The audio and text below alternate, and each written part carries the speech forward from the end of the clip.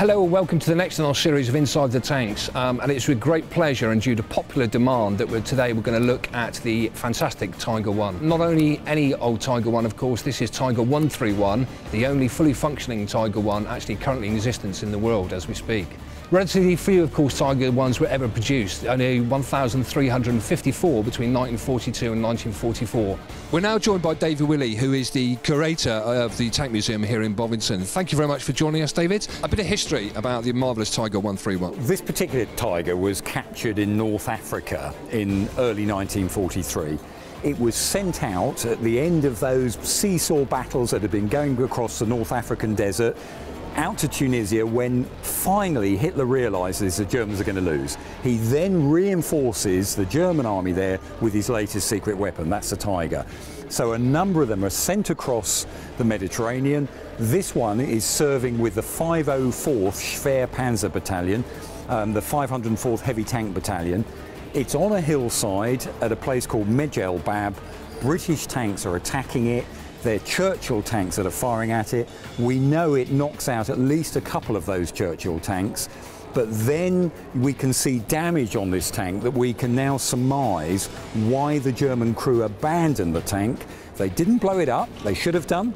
Um, that was the orders of the time. It was a secret weapon. You should destroy your tank if you're going to abandon it. But we think that one of the key rounds that was fired by a Churchill tank it goes under the barrel, we can look at that damage in a moment, and it wedges the turret to the hull. In other words, it goes underneath the point meeting between the turret and the hull, jams in there so the crew can't actually traverse the turret. And whether they were wounded, we just don't know. We've never been able to find out or actually track down the actual crew. They abandoned the tank. The German war diary actually uses the word panic um, when they leave that tank. Um, it's the first tiger we've captured intact on the battlefield in the West.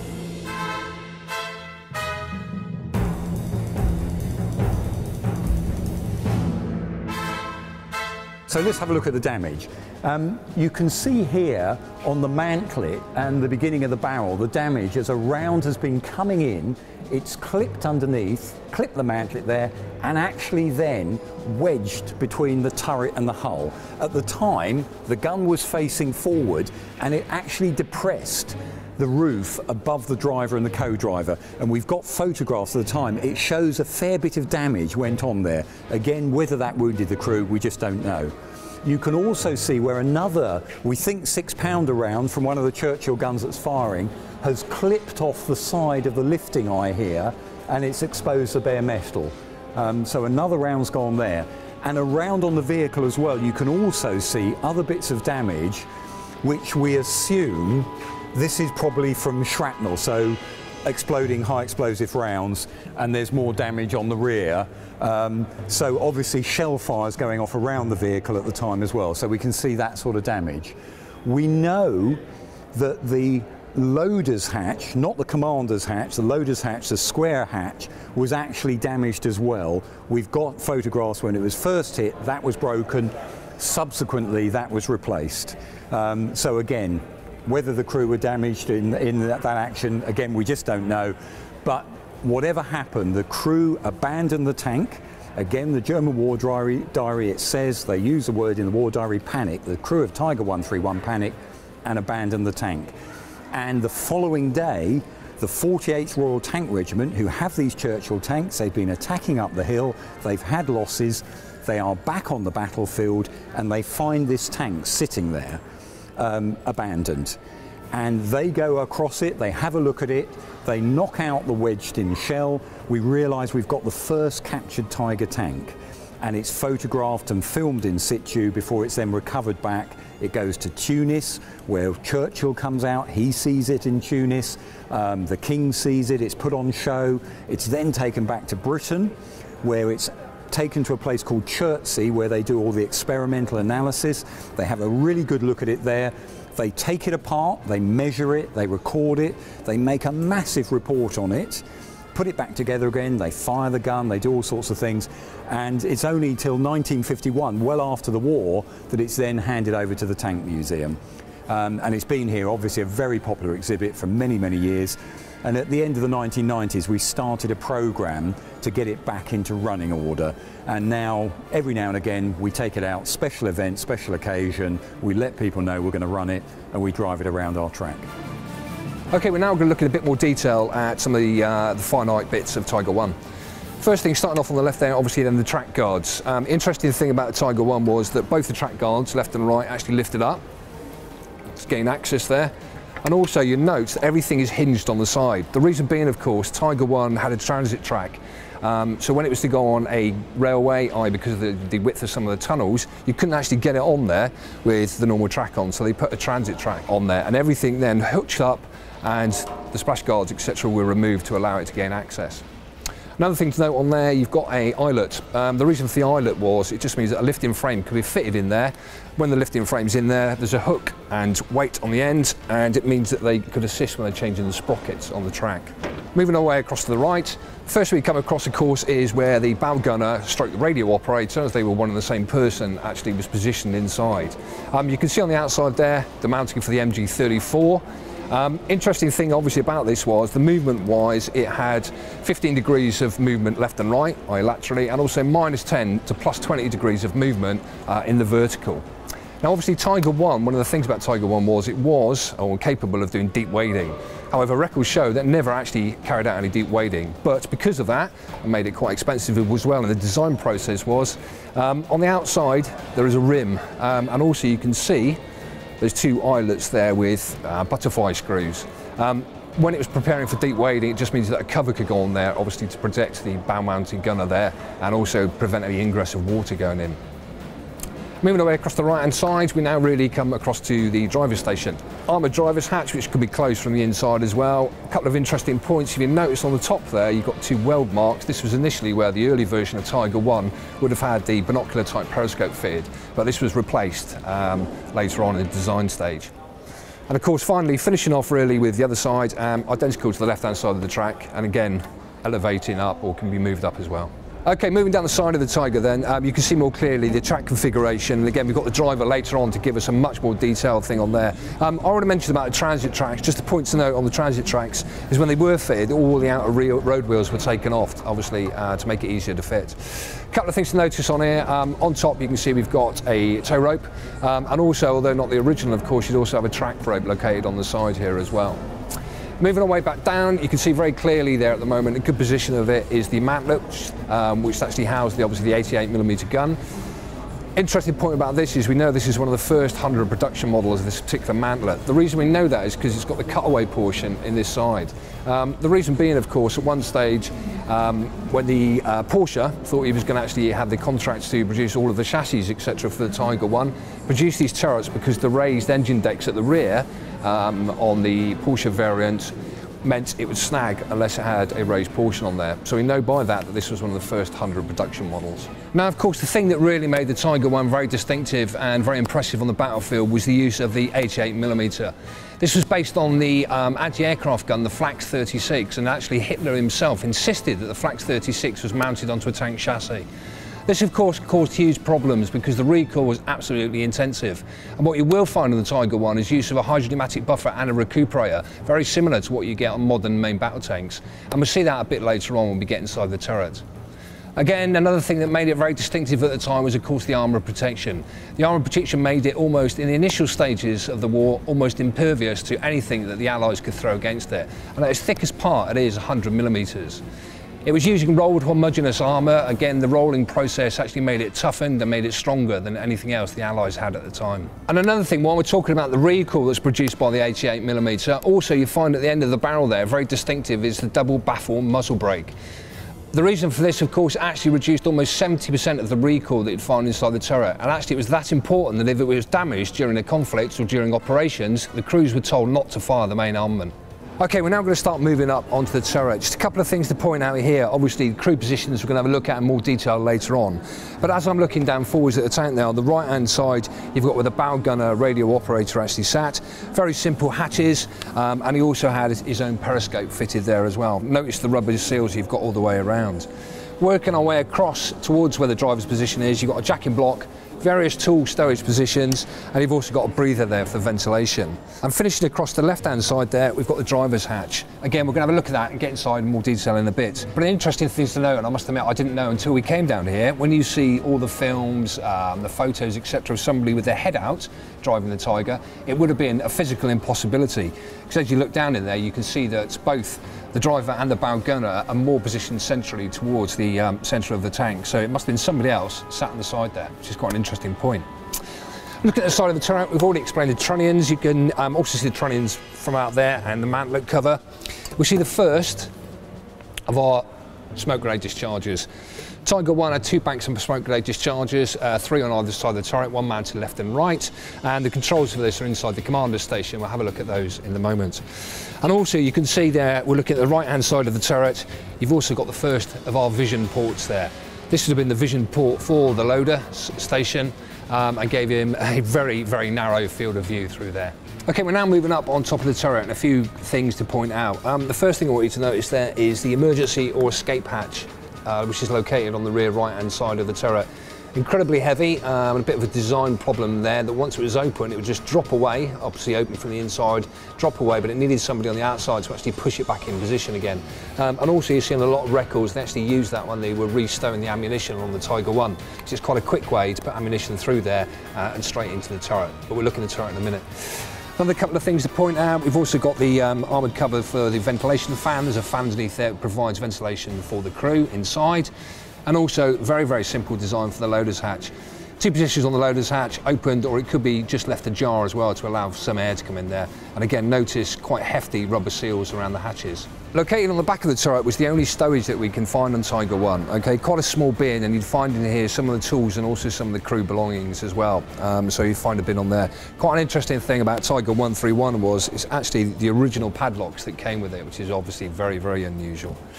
Moving away across, um, we've got a port here. This is a small arms port. And all it meant was, obviously, the crew had some means there. If people mounted the tank, whether it's on the turret or the back decks, they could actually put perhaps one of the small arms, the MP40, through there and fire on them as well. Okay, so just a small port there working our way across and the final thing really we've got located on the turret, the final two things we've got located on the turret, we've got another one of our vision slits, okay, um, you find it, the periscope or episcope's located behind there. This particular one is where the gunner would sit, just behind this wall, and finally, the last of our smoke grenade discharges. Okay, looking at the commander's station then, very, very simple conical design, um, again with a very simple commander's hatch there, with a very heavy duty rubber seal located around the outside. A few of the key things to point out now, you can see there are a number, again, of vision slits. Behind there are located the periscopes, which you'll see when we get inside the commander's cupola. Um, and also the azimuth indicator located underneath the rim here, numbered 1 to 12, all around the outside. And all it was was a very simple way that the commander could lay the gunner, who's got a similar thing just to the left of him in the gunner station, onto a target. But again, we'll have a look at that in more detail in the gunner station when we get inside there. The final thing to know, two hollow tubes you can see there, they were just the means there used to be a sun shield that could actually go up and protect the crew against the sun. We're now lucky enough to be joined by Ian, and Ian is one of the drivers here at the Tank Museum of the fantastic Tiger One. Um, Ian, thanks very much for joining us. On tanks, every morning what we'd have to do was a first parade, and of course the Tiger One was no different. So to give you an idea now what the first parade actually involved on the Tiger One, Ian's going to take us on a quick spin run. On the Tiger, first parade, it's quite a long-winded process, so it does drag on, but it's better safe than sorry. The first thing we do check on the outside of the Tiger, or the exterior, is tracks. Uh, tracks are really important because track wear and um, track pins. Each pin has a clip on the end, so it retains the uh, pin within the, each link. So you've got to watch out for things like that, so nothing comes apart. Slack in the track, so if there's too much slack, it's going to be too sloppy. It's going to make the drive not very good on the tank. So we always check adjustment. On each side, obviously, it's what's known as called the uh, final drive. Uh, within the final drive is filled with oil. So the other thing we have to do is check the oil levels. If the oil's too low, obviously it can cause a catastrophic failure within the final drive, which we don't want. So they're checked as well. You've got one this side and obviously one on the driver's side. What's your drip tray for then? Ian? That's uh, leak. yeah, you always get a leak, so matter so. But as long as you check it and you check the right levels, happy days. We check for sprocket wear, any pickup marks on the teeth. We try to keep a, an eye on those. Uh, road wheels, uh, we try. Every wheel station is greased. So that has to be checked as well and greased up. The rubber on the road wheels, we check there's no more um, being picked off or it's cracking or it's deteriorating. So we keep an eye on the road wheels. We've got some uh, access panel here. This really is for the inertia starter. You can take it off and visually get in, inside with a torch and look all within the engine bay. Um, you've got coolant pipes, you've got the obviously the engine there, and just checking for any suspect oil leaks and that, anything we find. As you can see, it's pretty dry on the floor, you know, but obviously there's things called belly plates on the hull of the Tiger. Sometimes we take those off and just double check, certainly there's any leaks or anything like that. I'd say that's pretty amazing because even on Challenger 1, Challenger 2, you find drip trays underneath it and leaks and all the rest of it. Yeah. So. Uh, you don't get me wrong, you're going to get the odd leak, Yeah, you yeah. know. But going back to the adjustment of tracks, the track adjusters are housed in here. Wow, it's really unusual. Yeah, so they're in there. So it works on like a cam sort of idea. So to adjust the tracks. So that's all uh, housed in there. And when you said about the um, track tension, E, what was, what's the sort of right track tension then? I mean, I would suggest at the moment, obviously, that's uh, The track is just got to be touching the second road wheel in on the outer edge. So it's just it's just right where it is now. Okay, there were two ways to start the Tiger One. The first one obviously was a very traditional method, um, using the electronic start in the driver's cab, and the other way was to do an inertia start. Um, so Ian's now just going to quickly take us through and demonstrate to us as well how you do an inertia start. First of all, we have the uh, access cover that has to be removed, and then we've got the adapter plate for the inertia start handle, and lower down here mounted is the actual handle for the inertia starter.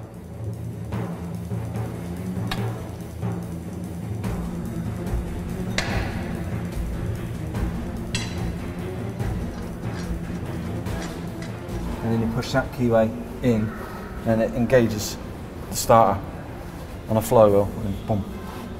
Easy. No. We've now moved up onto the back decks, um, and he's going to give us a quick spin round what we actually do on a first parade on there. Within the engine compartment, there's uh, more or less uh, three main things to check. We've got things what's called the fan drive gearboxes. Uh, one's located on the left side, one's located on the right side. They have got oil in them and dipsticks, so they'll be dipped and checked. We do them when they're stationary, and you, what we do is when we run the tank and we've got them engaged, we check them as well when the engine's running and the, the fans are engaged. So you check them as well. The next thing is is the main engine oil. Main engine oil is practically directly underneath me. There's a because it's a dry sump. There's a separate oil tank. Uh, there's a dipstick underneath as well. What we do is pull the dipstick out. Obviously, there's oil on the dipstick. It's safe to start.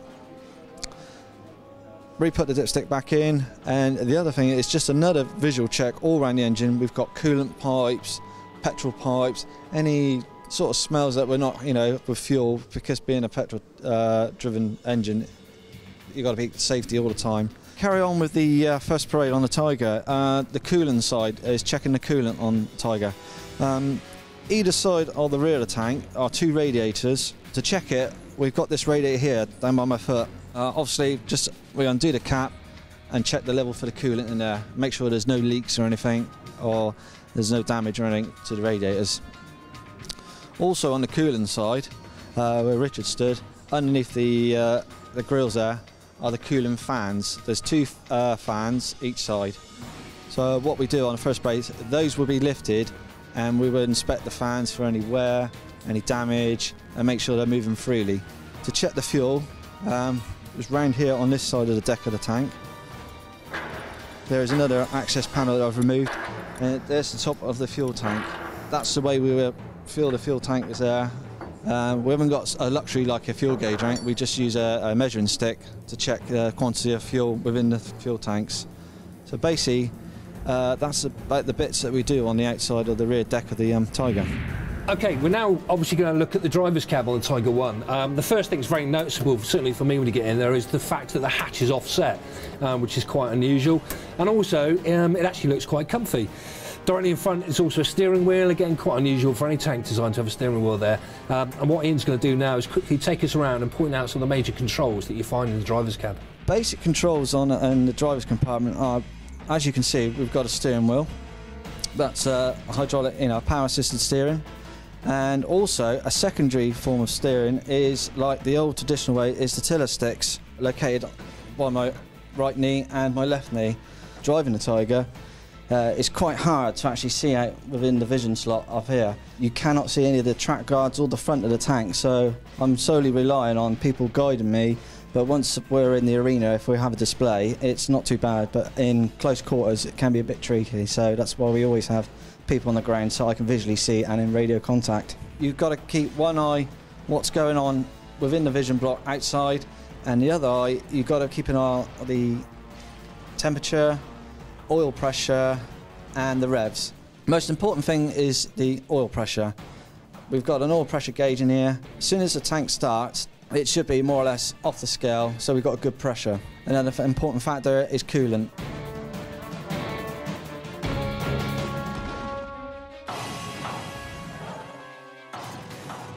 Other controls are, to my right, the choke lever.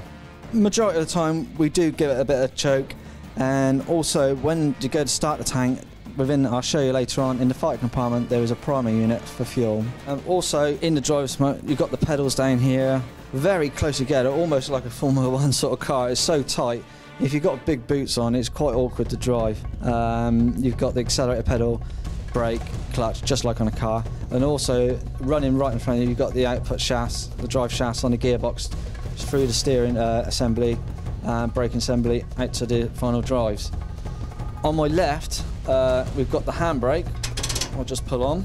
So you've got the main handbrake, so that's there. Also, on the Tiger, uh, when selecting gear, what we have is a uh, transfer lever, which is situated here by my right knee, um, which indicates uh, neutral, reverse, or forward. Uh, also, above that is an engagement knob. You depress the knob in on the transfer box, and then you can engage forward or reverse. Also, here is the gear ratios. On a Tiger, you can pull away from 1 to 4, anything in between those uh, gear ratios, but depending on the terrain. Normally, but the Tiger has 8 forward gears and 4 reverse. Also, in the uh, driver's compartment, as opposed to the other side where the uh, machine gunner sits and the radio operator, you have these uh, filler necks. These are for the final drives that I was showing you from the uh, outside during the first parade. This is where you fill them up through these. Um, they're just vented. They've got a little bit like a vent tube on the top, but um, that's where they're filled up from. So, you know, they obviously thought of everything, you know, to do that, make it so much easier to work on this tank.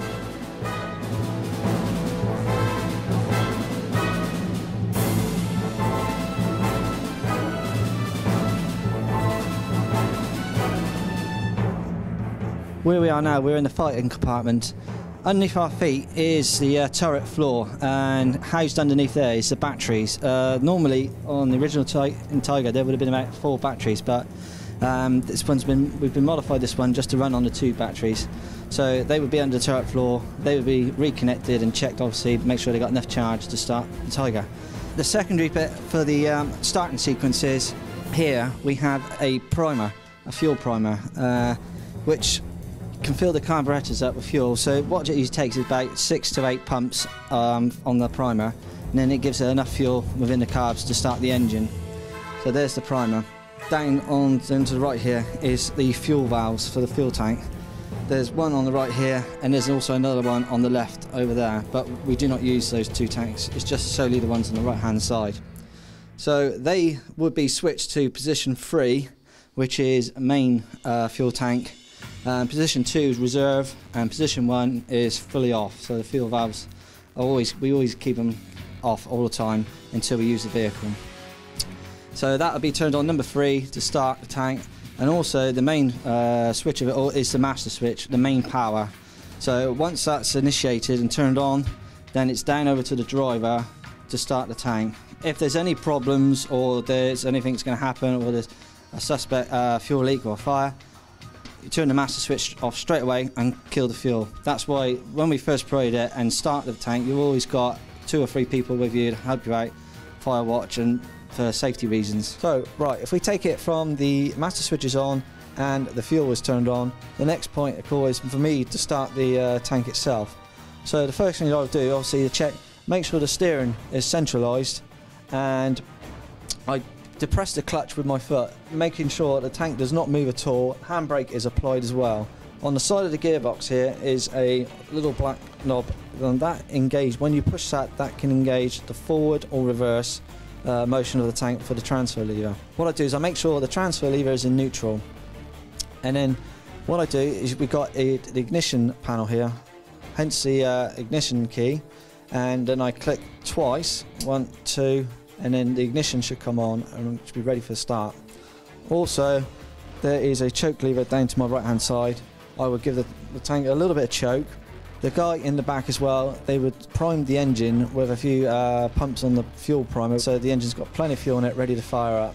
And then you press the ignition switch and then the tank will fire up and usually I take it up to about uh, 1000 RPM.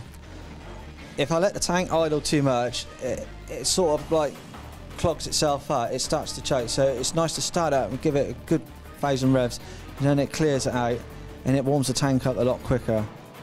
And then eventually I'll, I'll take the choke off and then she hopefully she'll start warming up nicely then.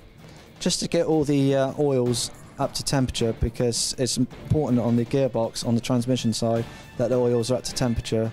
If they're not up to temperature then it makes the uh, gear selection uh, very hard. So basically that's it. Ian's already taken us through the driver's position. What we've done now is pop across um, to the right of the driver and we're now in the radio operator or the bow gunner's position. So the bow gunner was exactly the same person that operated the radios. Quite clearly on the left there you can see the original radios that come with Tiger 131. Um, various combinations of radios obviously depending on whether it was a command vehicle or not. Shortwave usually, um, however the command vehicles have the ability to actually do uh, longer signals, i.e. Um, more high powered. Very simple in this position here, and actually it's quite comfy and quite roomy. You can see directly in front of me is one of our, the first of our two MG34s. Obviously the other one is mounted coaxially with the main armament. The setup for it is quite simple. The interesting thing to note, of course, for the MG34 was slightly different to the ones that were ground mounted or mounted on armoured vehicles. The fact that the barrels on the um, armoured vehicle ones were three quarters armoured. So um, that was just to protect it against shrapnel, etc a very simple brow pad um, that the bow gunner used to use there, and also a very simple um, singular sighting system that was used um, to aim it. You'll also notice, as Ian mentioned before there, also to the front of there, you can see the transmission assembly um, right down at the front there. So obviously, as Ian said, when you are driving it, incredibly noisy, not only for the driver, but also for the bow gunner. Across the right hand side, stowage, you can see where the rounds were kept there, um, and also there are various stowage positions all over. We'll look at some of those later on um, for the main armament rounds, the majority being held actually inside the turret, under the turret floor. And as Ian pointed out in the driver's cab, um, one of the filler points for the final drive. Um, so obviously one of the driver's cab, and this is the one across the right-hand side uh, for the other side. We've now, I've moved down from the commander station into the gunner station, so directly beneath where the commander would sit. Uh, as you can see, not a great deal of room. Just to the right of me is the breech and the breech assembly. Straight ahead of the gunner is the gunner sight. In this case, it's the 9 Bravo um, binocular type sight. Quite a very simple and very effective sight, gave you 2.5 times magnification and a field of view of 25 degrees. The graticule pattern was also quite simple and hopefully we'll be able to give you a close-up of that later on, but in essence it consisted of a number of inverted Vs on the graticule pattern. Moving across from that and directly located underneath where the breech is, you can see we've got the elevation hand wheels. That means that the gunner can elevate and press the main armament. And another important part of the elevation hand wheel, of course, is on the other side, We've also got the trigger, which is used by the gunner when firing the main armament. A couple of very important things on the floor, directly beneath the gunner, we've got a number of foot pedals. One of them is a rocker type pedal, and this was the means for power traverse um, for the Tiger 1. So pushing forward and putting it down with your heel on there would turn the turret left and right under power traverse as well. And it was possible at full speed to do a complete 360 in 60 seconds on Tiger 1. And the final pedal for the gunner, down on the gunner's position, is a very simple pedal there that fires the MG34. So that's the means that he does it. Although apparently not particularly reliable as obviously it is relying on a number of linkages linking up to the MG34. Moving across the left hand side then of the gunner's station, one of the most important things was the azimuth indicator. Um, exactly the same as we mentioned already on the commander's station. The azimuth indicator, again numbered from 1 to 12, so again it's the way that the commander and the gunner can link up. Commander could lay the gunner on quite quickly using that. Vision block on the left hand side there, we saw from the outside of the turret the vision block um, and obviously the periscope that we've got there. Directly above that were two breathing tubes. Um, the breathing tubes, the only reason for them was it's just the means that the, air, uh, the crew could get fresh air using the breathing tubes as opposed to putting on and wearing the full respirators or gas masks, which obviously was quite problematic. And finally, we have the emergency gun firing circuit. So if there were problems, there's still a means for them to get the primed and charge that would set off the primer for the main armament. And the final thing to mention of the gunner's station then is obviously the traverse hand wheel. If there was a problem and we couldn't use power traverse, there's the ability there to use the traverse hand wheel. Um, before it could be used, there is, you, although you won't be able to see it, underneath the turret sill there is a locking lever that needs to be disengaged on there. Okay, now looking at the commander station, you can see there the angle I'm actually sat up at the moment is quite limited for space in here. Working our way around, obviously you've got the seats, which is just underneath the camera at the moment there. Um, you've also got the traverse gearbox. Located on the traverse gearbox was a hand wheel for the Commander. Um, this was the auxiliary uh, hand wheel for the turret traverse. You can also see there, we mentioned about the smoke grenade discharges on the outside of the, the vehicle. Um, this is one of the control panels to farm one of the banks. Located underneath there, there are just three buttons that actually fire the smoke grenade discharges. Various stowage located around where the commander would sit, stowage for the gas mask, uh, stowage for a flare pistol, and also any stowage for small arms as well. Um, and also, we'll get to rotate around at the moment, you can see where we pointed on the outside of the turret, you've got the, the ports there where the commander can fire a small arms actually outside. Located around number of vision blocks, six vision blocks as we pointed from the outside. And also, if you went up, you might be able to make out the azimuth indicator located or numbered 1 to 12 on the interior of the commander's cupola or turret ring there, just at the top. Last thing to point out in the commander's station You've got this uh, thin metal shield here. The only reason the shield was put there was to prevent, or in the eventuality of a flashback in the turret, um, that would give the commander some protection. We're now in the loading station and a few of the key things to point out. Now obviously one of the big things about Tiger 1s we mentioned earlier on was the fact that the gun was absolutely so potent with the 88mm. A few key things to point out on the breech then. One of the most obvious things there, you can see the transit bar. And all the transit bar did was hook the breech up when the gun was not in combat use to prevent damage to it as well. As we said before, the recoil was a real problem for the 88mm and uh, fitting it onto the chassis. So what they did was actually put a recuperator and a buffer on there to absorb some of that recoil. One of the things I will put out is in a moment as well as also the recoil indicator.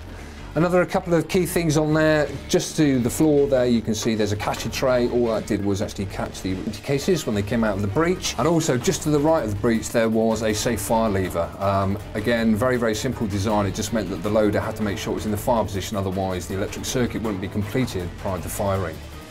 Moving away across to the right, you can see, although not fitted at the moment, was the mounting for the MG34. Um, again, reports of lots and lots of problems with the MG34 on Tiger 1 as far as stoppages were concerned. Also, you notice just to the right of the mount there, there's the number 2. Um, you may have noticed they've been going around, there are various numbers located in Tiger 131. It is numbered 1 to 14, and all that meant was it was the 14 checks that before Tiger 1 did uh, deep wading, that would have to be done beforehand. So there are 14 things that had to be dealt with before it could submerge or do deep wading.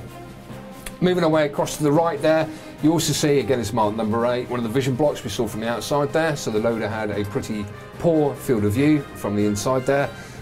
The loader did have his own seats in the stow position at the moment, it just swings out and puts and folds down there and also the stowage. Now the stowage on Tiger 1, it was capable of carrying 92 rounds. Um, the rounds themselves were usually an equal split between high explosive and armoured piercing.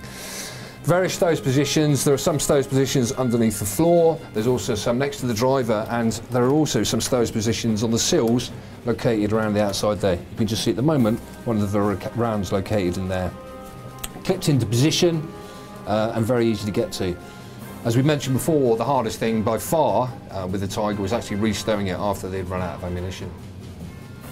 Moving away across to the right, uh, we've also got another gas mask on there, and you can see now the inside of the emergency or escape hatch um, with a very, very good thing, something that's very heavy on there, which we said before. And also, you can see just to the top right of that, we looked at it from the outside of the turret, we've also got the ventilation fan. And also on the right hand side we have the gun balance spring casing, which in essence is just an oversized damper. And finally the loader station, I'm just moving across here, you can see there is a leather pad there. That was just to actually buffer some of the rounds as they were ejected from the breech. Also we've already pointed out there that the catching the empty projectiles. And what I mentioned before there, really in essence a recoil indicator, which interestingly enough has sort of not changed in design much to, to many tanks. All the recoil indicator was, we've already said it's hydraulically assisted the breech. It was just an indication there of how far and how well the fluid was reacting um, for the recoil. Um, it could recoil up to 620 millimetres, but the marker on there would go up to 580. After that, it would have a ceasefire mark on there, just to tell you there were problems.